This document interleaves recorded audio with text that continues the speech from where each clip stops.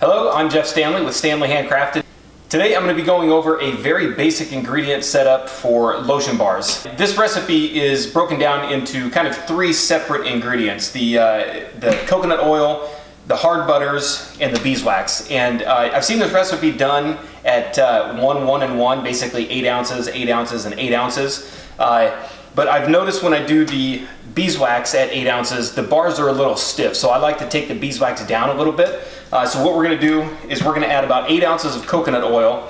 Uh, we're going to do 8 combined ounces of the shea butter, the mango butter, and the cocoa butter. And however you mix that up is up to you. Uh, you could do 7 ounces of mango butter and then 1 ounce of uh, shea butter and cocoa butter, uh, just depending on how you like it, what uh, it basically depends on what butters that you like to use. And you can use any hard butters that you want to. So if you don't like mango butter, cocoa butter, or shea butter, you can substitute those with anything else. As long as you have a combined ratio of 8 ounces, you're going to be uh, just fine with that. Uh, the beeswax, this is what's going to control either the stiffness or the softness of the lotion bar itself. Uh, the more beeswax you put in, 8 ounces, uh, you're going to get a really stiff bar. You're going to have to rub it on your skin a, a, little bit more before it starts to melt away. And I've noticed anything under 6 ounces, it's going to be really soft. So as soon as you start picking it up, it's going to start to melt on you.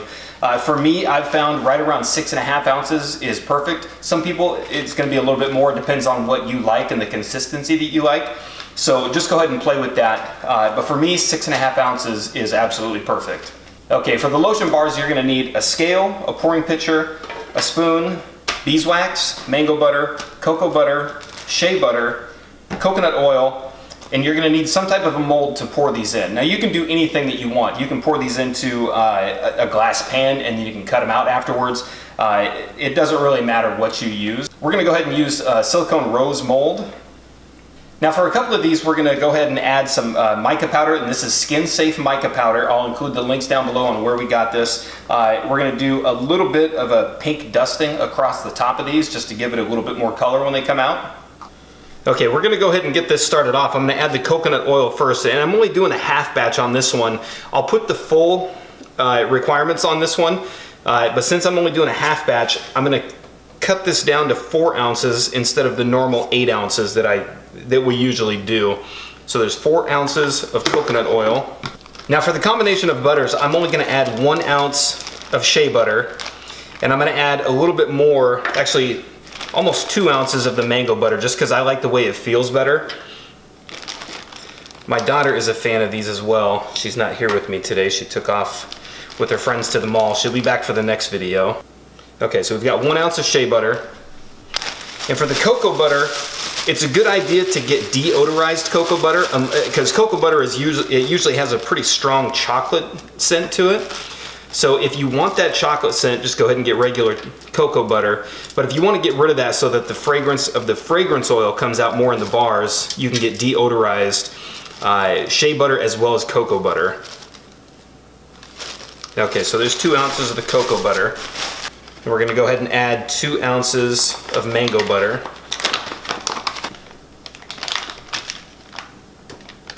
I'm gonna go ahead and zero this out.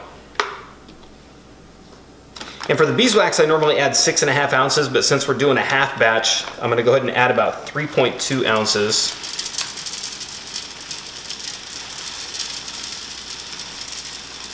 And for the vitamin E oil, we're gonna go ahead and wait to add that until it's fully melted. So we're gonna go ahead and take this over to the double broiler now. Okay, I went ahead and put the pouring pitcher inside the double broiler. This is a good way to melt your waxes and butters. Uh, it keeps everything uh, away from direct heat so you're not going to burn or scorch the oils and butters. Okay, while that is going, I'm going to go ahead and dust the inside of these a little bit. And it doesn't take a lot.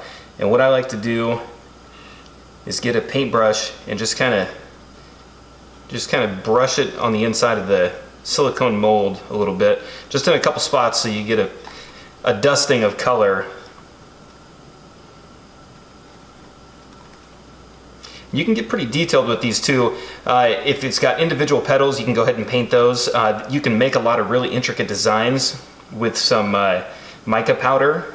All right, I'm just gonna do a little bit in these just to kind of show what it looks like and what you can do. I'm not getting real fancy with this at all. and I'm gonna leave one blank. This is gonna make about four bars. So we'll have three that are a little dusted and then one just plain. Okay, the oils and butters have completely melted now. Uh, I'm gonna go ahead and stir that and just let it cool down for a minute before we add the vitamin E and the fragrance oil. If you add the fragrance oil right when it comes off, you can burn a little bit more off uh, and lose a little bit of scent if you're not careful. So I let it cool down just a little bit. Okay, we're gonna go ahead and add a little bit of vitamin E oil. Now vitamin E oil is very important to add to these. Uh, this is gonna help your oils uh, it's to prevent them from going rancid over time, so it's to preserve the life of your lotion bar a little bit longer. And I usually do just a couple dropperfuls and then stir that up so that it mixes in well. And then the fragrance oil, once this cools down enough, we're to go ahead and add some of this. Uh, now normally with the full batch, I add probably a little bit less than half an ounce. You don't need a lot in the lotion bars to make it smell. So for this one, I'm just gonna add probably 0.2 or 0.3 ounces and we're using mango papaya on this one, which is a really nice scent, uh, very popular through the spring and summertime. And then once that's ready, now with these molds, we picked these up from Michael's. I pour these just about to the top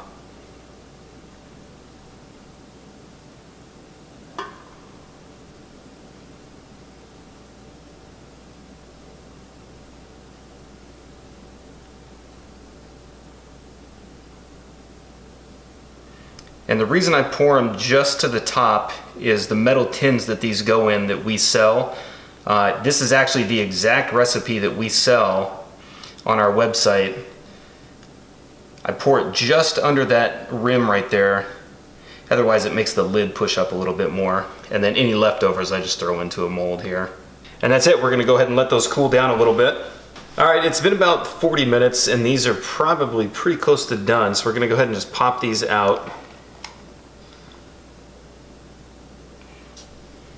And then here's one of the colored ones. I didn't add a, too much to this one just to give it a little bit of a color. And then uh, I'm gonna go ahead and post the links to these metal tins that we use for ours. You can pick these up really cheap at a few different places and I'll post the link down below.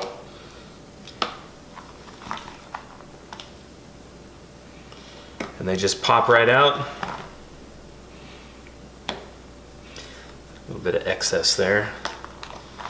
Then that's it. Once you're done, just start rubbing that on. And you can feel it as soon as you pull it out. The second you start to rub on it, it starts to melt a little bit. Right, and there you have it. Very quick and easy lotion bars. Uh, if I skipped anything, please let me know. Uh, if there's anything that you'd like me to go into more detail on, uh, leave a comment down below. I answer every single one of them. Uh, I have my email address, the website, and everything posted down below as well. So if you have any questions or if you have any videos that you'd like to see, please send the suggestions our way. Mallory will be with me next time and we'll go ahead and get on these. Uh, if the video was helpful, give it a thumbs up uh, and subscribe for more. Thank you.